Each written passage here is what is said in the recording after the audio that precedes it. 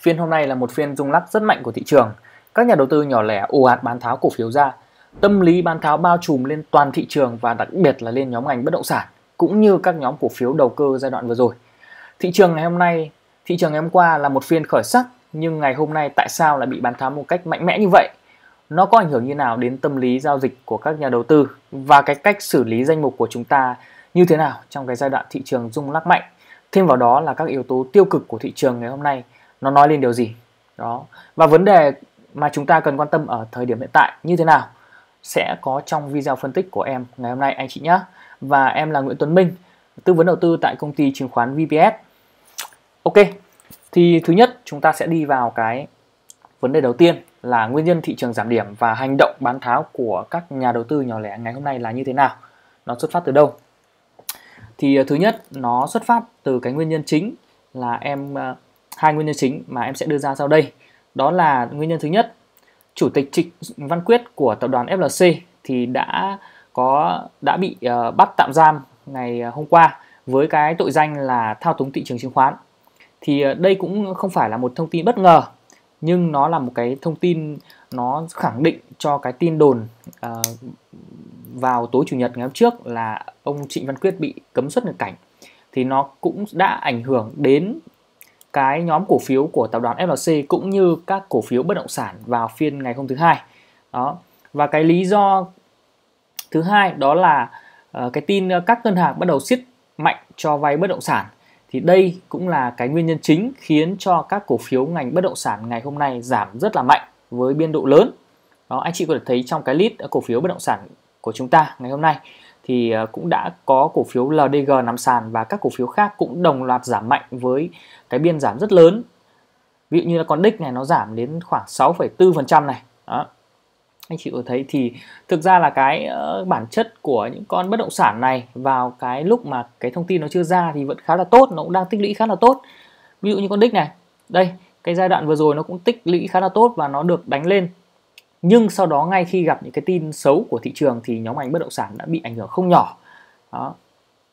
Đấy và đấy là hai cái nguyên nhân chính khiến thị trường của chúng ta bị giảm điểm ngày hôm nay.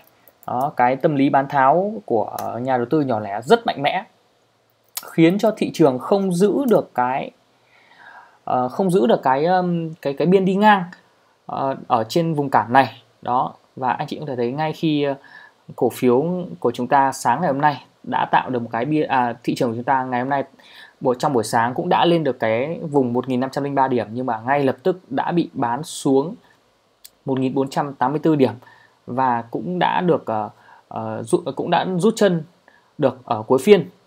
Đó. Thì uh, ngày hôm nay thì ờ, yếu tố nào mà khiến thị trường không giảm điểm mạnh?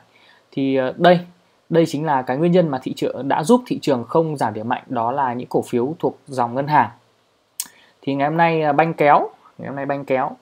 Đây anh chị có thể nhìn rõ hơn là trong VN30. Nay VN30 cũng đóng góp phần cũng góp phần là khiến à, index VN Index không giảm điểm mạnh. Đó, ngân hàng thì có BID này cũng tạo một cái mức tăng rất là tốt với cái thanh khoản lớn.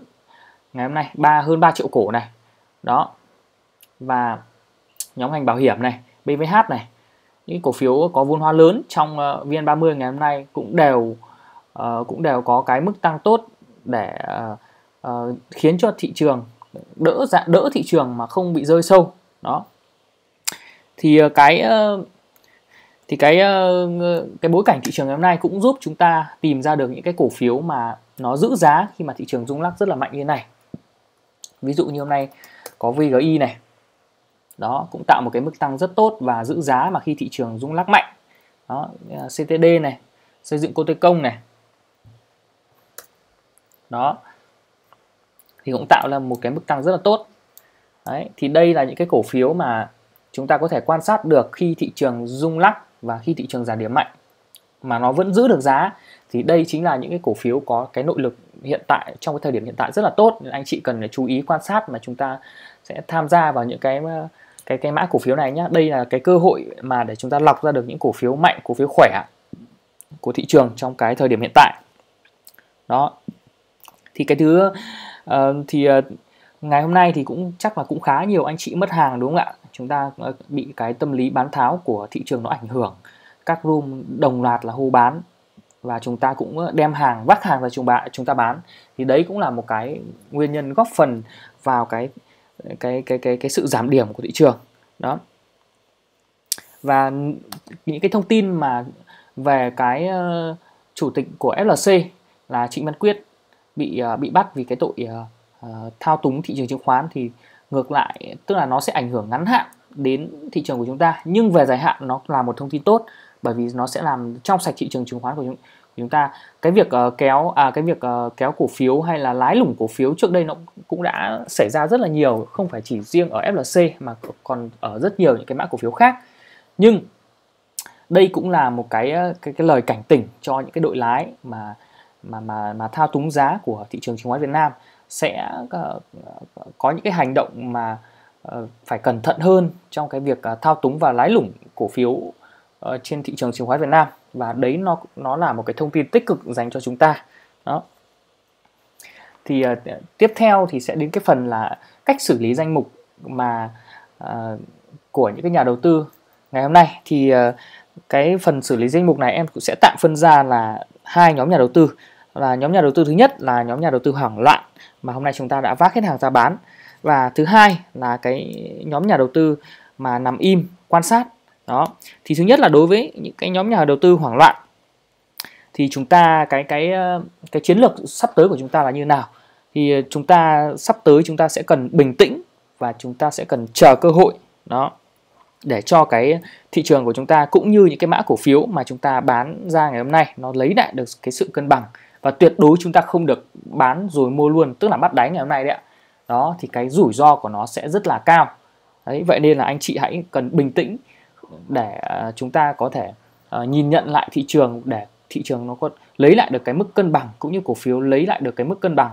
Thì chúng ta hãy tiếp tục mà tham gia lại. Ví dụ như cổ phiếu đây là một anh chị có thể thấy cái vận động của nó trước đây khá là tốt khi mà đánh lên xây nền và đánh lên xây nền đó những cái những cái cổ phiếu với cái mẫu hình như này thì nó sẽ có một cái mức tăng rất là tốt và tăng một cách bền vững nhưng ngày hôm nay. Đấy, ngày hôm nay nó cũng đã bị đạp về cái vùng hỗ trợ cũ, ở cái vùng nền cũ. Như này, thì chúng ta không nên bắt đáy ở đây, mà chúng ta sẽ đợi nó sideways đi ngang và nó xử lý hết những cái lượng cung hàng còn lại. Đó, thì nó cũng mới có thể đi, nó nó mới có thể quay trở lại được cái nhịp tăng của nó. Đó, nên anh chị anh chị không được vội nhá. Đấy, những anh chị mà hôm nay bán tháo ra thì hãy đợi cổ phiếu và thị trường cân bằng lại thì chúng ta mới tham gia. Đó hiện tại là chúng ta đã bán đi rồi chúng ta đã mất hàng rồi. Nếu có thể ngày mai nó là một cái phiên hồi phục thì chúng ta cũng chưa nên mua vội. Đó tránh cái kịch bản giống như cái ngày thứ hai nó xảy ra. Thứ hai ví dụ như là thứ hai là thị trường bị bán tháo bởi vì cái tin ngày hôm chủ nhật này. Đó thứ ba thì thị trường hồi phục tốt. Đó thì chúng ta hoàn toàn mua vào và đến ngày hôm nay thị trường đạp thì chúng ta thứ nhất là chúng ta vác những cái cái hàng mà có sẵn, mà bán ra, mà những cái hàng mua hôm hôm ngày ờ, ngày thứ hai và thứ ba thì nó cũng vẫn chưa về, đúng không ạ? Thì nó sẽ gây ra một cái tâm lý rất là hoảng loạn và không biết làm gì, loay hoa loay hoay. Thì chúng ta nên thật là bình tĩnh và để cổ phiếu lẫn thị trường có một cái nhịp ờ, điều chỉnh và cân bằng thì chúng ta mới tiếp tục tham gia, anh chị nhé thứ hai là nhóm nhà đầu tư mà nằm im quan sát ngày hôm nay. Thì ờ, khi mà cái, trong cái danh mục của anh chị ngày hôm nay chẳng may thì có những cái cổ phiếu mà nó bị giảm điểm theo thị trường. Thì chúng ta cũng sẽ chờ ngày mai và chúng ta hồi, khi cổ phiếu nó hồi lên cùng với thị trường thì chúng ta sẽ tạm thời bán ra và hạ thấp, cũng như hạ thấp tỷ trọng để chúng ta sẽ cầm tiền mặt trước. Bởi vì cái giai đoạn này là cái giai đoạn mà chúng ta có thể nhìn thấy được trong cái danh mục của mình là cái cổ phiếu nào yếu và hoặc là cái cổ phiếu nào mạnh như em vừa nói trước đây em em vừa nói cái cái cái, ở ở cái phần ờ, trước đấy. Thì là chúng ta sẽ nhìn ra được cổ phiếu nào là cổ phiếu yếu, thì chúng ta sẽ canh nó hồi ra để để chúng ta bán. Đó, và những cái cổ phiếu mạnh thì chúng ta sẽ tiếp tục nắm giữ. Đó, ví dụ như anh chị mua ba cổ phiếu. Anh chị mua ba cổ phiếu, trong khi đó gặp cái nhịp ngày hôm nay, cái nhịp điều chỉnh mạnh ngày hôm nay, bán tháo ngày hôm nay, thì nó sẽ có một cổ phiếu mạnh và vẫn giữ được giá. Và hai cổ phiếu yếu, thì chúng ta sẽ canh hồi hai cổ phiếu yếu này ra để chúng ta Ờ, bảo toàn được cái ờ, cái cái cái vốn của mình. Đó. Và chúng ta uh, tiếp tục quan sát cái cổ phiếu mạnh còn lại để chúng ta có thể gia tăng nó trong cái nhịp sắp tới. Uh, tối ưu hóa lại được được cái lợi nhuận cũng như giảm thiểu được cái rủi ro. Đó. Thì đấy là cái cách um, đấy là cái um, cách xử lý của em đối với những cái nhà đầu tư mà ngày hôm nay nằm im quan sát. Đấy. Chúng ta phải chúng ta phải cực kỳ bình tĩnh trong cái giai đoạn này thì cái chiến lược giao dịch mà em đưa ra cho anh chị cả ở thời gian sắp tới là sao? Là chúng ta hãy ờ, hãy hãy chờ thị trường cũng như chờ cái cổ phiếu của chúng ta về một cái điểm cân bằng. Đó trước cái nhịp rung lắc mạnh này chúng ta chưa nên làm gì cả. Và chúng ta cũng hạ thấp cái tỷ trọng margin không nên tham gia margin nhiều trong thời gian thời gian này anh chị nhá. Đó.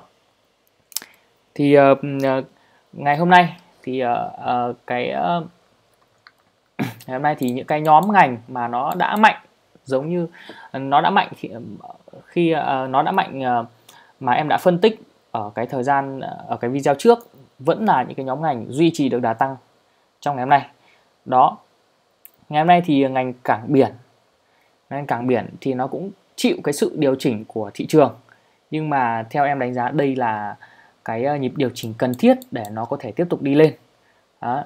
và không chỉ riêng ngành cảng biển và ờ, mà ngành ờ, dệt may và thủy sản cũng là một cái nhóm ngành đang rất mạnh ở thời điểm hiện tại mà anh chị cần quan tâm. Đó, anh chị có thể thấy nó vẫn tăng rất là tốt khi mà thị trường điều chỉnh. Thì đây chính là, đây chính là những cổ phiếu mà được dòng tiền quan tâm ở thời điểm hiện tại. Đấy. nó không, thị trường giảm, nó không ờ, nó không bị ảnh hưởng, nó không bị ảnh hưởng quá nhiều. Đó, cũng như TNG đây cũng tạo một cái mức tăng rất là tốt này. Đấy và hoặc đặc biệt là nhóm ngành bán lẻ, vẫn giữ được phong độ rất tốt. DG World, đấy. Thì hôm qua em cũng đã phân tích cái cổ phiếu này. Thì cổ phiếu này nó đang ờ, vượt đỉnh mọi thời đại, đó. Và nó đang ờ, điều chỉnh đi ngang giữ giá ở cái vùng này. Thì đây chính là cơ hội của của các anh chị để chúng ta có thể tham gia được với những cái cổ phiếu mạnh thời điểm hiện tại. Ví dụ như con DG World này, đó. Hoặc là con PNG con PNG thì nó cũng ờ, là một cái cổ phiếu mà nó yếu nó yếu so với những cái cổ phiếu ờ, có vốn hóa lớn. Thì đây ngày hôm nay nó cũng đã chịu cái sức ờ, bán tháo của thị trường và nhưng mà với một cái thanh khoản không lớn. Đó, anh chị có thể thấy. Vậy những cổ phiếu này chúng ta cũng sẽ đợi cái sự cân bằng của nó thì chúng ta mới tham gia được, anh chị nhá. Đó, thì như, ví dụ như nhóm ngành chứng khoán, nhóm ngành chứng khoán hôm nay có con ORS đó, anh chị có thấy nó vẫn giữ được cái đà tăng của nó. Và ngày hôm nay nó không bị ảnh hưởng lớn bởi thị trường. Nó vẫn đi lên và nó xây một cái nền rất là chắc ở đây. Và cái thanh khoản của nó cũng, cái thanh khoản bán của nó ngày hôm nay cũng không lớn. Đó, cho thấy được rằng là cái cái ờ, cái cái cái lượng cung hàng ở cái vùng này của cổ phiếu nó không nó không còn lớn. Và nó đang tiếp tục xử lý cái cản này. Đó. Đây. Đó. Đấy, thì em cũng đã phân tích ờ, ORS cho anh chị rất là nhiều trong những cái video trước. Đấy, tiếp theo là ờ, VPH này. VPH lên đến vùng đỉnh ngày hôm nay này cũng bị bán này nhưng mà cái thanh khoản nó không lớn. Đó. Chúng ta vẫn tiếp tục nắm giữ mà ngày hôm nay em còn cho cái room em còn định em còn định cho cái room của em mua thêm cơ con này cơ khi nó về nó về cái vùng chiết khấu 16.5 này. Đó. Đấy ngoài ra thì nó cũng có có con SBS ở bên chứng khoán này ngày hôm nay nó cũng có một cái ờ, mức tăng khá là tốt này với cái thanh khoản vào cũng lớn. Đấy. Đây là những cái cổ phiếu mà chúng ta có thể lựa chọn ờ, để tham gia khi mà thị trường có cái những cái rung lắc mạnh như thế này. Thì những cái cổ phiếu này nó vẫn tạo được một cái mức tăng rất là tốt thì chứng tỏ là nó đang khỏe hơn so với những mã cổ phiếu còn lại trên thị trường. Đó. Đấy, hoặc là BVS này. Đó BVS này. Đấy hôm nay cũng tạo ra một cái mức tăng mà không bị không bị bán này. Thì đây là những cái cổ phiếu mà chúng ta có thể cân nhắc để tham gia vào được. Đó. À, hôm nay còn à, ờ, hôm nay cũng có rất nhiều người hỏi em là con BCG này tại sao hôm nay nó bị bán với cái thanh khoản lớn như này? Bởi vì mọi người rất dễ nhầm uh, cái từ bamboo này là của tập đoàn FLC nhưng thực ra không phải. Đây là đây là cổ phiếu này chủ tịch của Bamboo Capital là Hồ Nam cơ chứ không phải là Trịnh Văn Quyết vậy vậy nên là con này cái đợt trước nó cũng bị ảnh hưởng bởi con FLC mặc dù nó vẫn đang trong một cái trend tăng như này. Đó. Đấy, thế nên là ai cầm con này thì cũng thực sự là khó chịu. Nhưng mà anh chị cũng hãy ờ, ai mà đang cầm nắm con này thì chúng ta cũng không phải lo lắng nhiều nhá. Bởi vì nó cũng tức là nó cũng sẽ giữ lại được cái cái bản chất uh, tốt của doanh nghiệp của nó thôi. Và đây nó chỉ là ảnh hưởng ngắn hạn thôi còn dài hạn thì chúng ta không không cần lo, anh chị nhá. Đó. Thế nên là khi chúng ta tham gia thì thị trường thì chúng ta cũng nên trang bị cho mình những cái kiến thức cũng như là chúng ta cũng sẽ phải hiểu qua. Và ít nhất là anh chị cũng có thể nắm được ờ, cái vận động của cổ phiếu để chúng ta có những cái góc nhìn nó sát nhất, có tính khách quan nhất và chúng ta cũng phải tự trang bị được cho mình cái kiến thức trước những cái thông tin bên ngoài hoặc là trước những cái áp lực của thị trường, đúng không ạ? Thì nếu anh chị nào mà không có thời gian thì có thể tham gia vào cái room khách hàng của em thì ở đó em cũng ờ, đã có những cái nghiên cứu và để em cũng sẽ tư vấn cho anh chị là chúng ta nên mua bán như thế nào cho nó phù hợp anh chị nhé đó. Dạ vâng thì em cũng ờ, xin kết thúc video tại đây. Thì em cũng kính chúc anh chị là có một cái sức khỏe thật tốt và để uh, chúng ta có những cái uh, những cái tâm lý thật là tốt khi mà thị trường vẫn còn đang rung lắc như này để đón chờ những cái phiên tới anh chị nhá. Đấy, thì anh chị uh, nếu mà muốn vào cái room khách hàng của em cũng như vào cái room ờ, thảo luận bên em thì có thể liên hệ với em qua cái số Zalo trên màn hình và, và hoặc là quét cái mã QR em để trên màn hình anh chị nhá. Vâng, em xin ờ, kính chào tạm biệt các anh quý anh chị ạ.